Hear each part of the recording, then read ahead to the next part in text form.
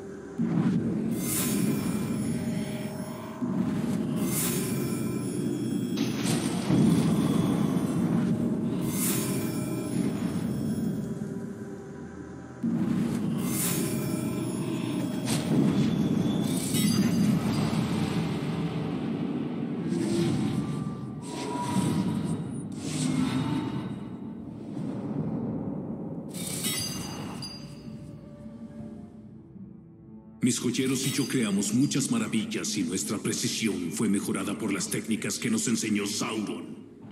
Cada colaboración nos llevó más cerca de la perfección.